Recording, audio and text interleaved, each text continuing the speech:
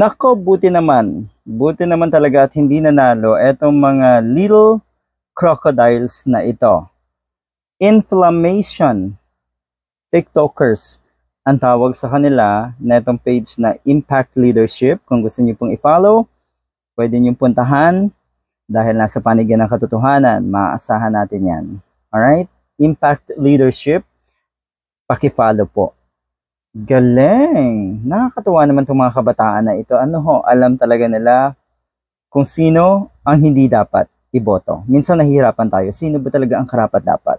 Pero dapat una pa lang, or mas uh, dapat alam natin kung, hin- kung sino yung mga hindi dapat iluklok at iboto. Sa nakaraang SK election po, etong mga TikTokers na ito ay tumakbo.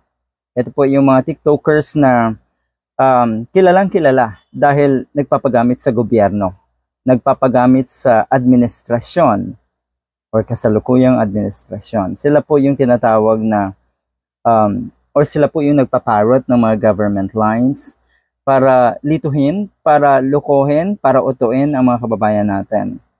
Disconnected sa realidad.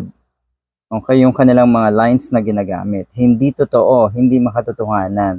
Para lang ko na i-promote na may nagagawa ang nasa Malacanang at syempre nga ang ang ating uh, estado or ang ating state or state ng ating country ay bumubuti. Pero yun nga, kabaliktaran naman po ang nangyayari dahil naman, lahat tayo ay nakakaranas ng lahat ng krisis na meron dito sa atin. So siguradong, siguradong etong mga ito ay nagpagamit, nagpauturin, at yun nga, para sa pera. Kaya nila ginagawa yan. Kamakailan din po etong mga TikTokers na ito ay sangkot naman sa isang uh, project para siraan ang isang celebrity na si Maggie Wilson. At yun nga, yan po ay ibinunyag ni Maggie Wilson. Merong tao sa likod uh, ng campaign na yon at etong mga ito ay nagpabayad sa halagang 7 to 8,000 ata. Ganon. So ngayon, ang maganda dyan, hindi nanalo sa SK elections itong mga ito. Na ang ibig sabihin, maraming kabataan pala naman ang nag-iisip ng tama. Ang alam kung sino ang dapat iluklok. Yun ang nakakatuwa. So, ito yon Inflammation TikTokers fail to win in SK elections. Ito pong tatlong ito.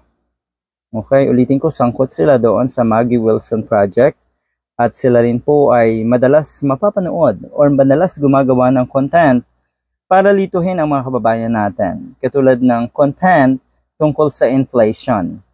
Hmm, inflammation. Kaya siguro inflammation ang tawag sa kanila. Inflammation TikTokers. Good luck. Sabi sa inyo eh, sa tuwing gagawa tayo ng anumang aksyon, kung ano man yung ginagawa natin araw-araw sa buhay natin, lagi nating tandaan na dapat meron tayong magandang intensyon. Pag negatibo at hindi magandang intensyon yan, siguradong mag-fail. Good luck!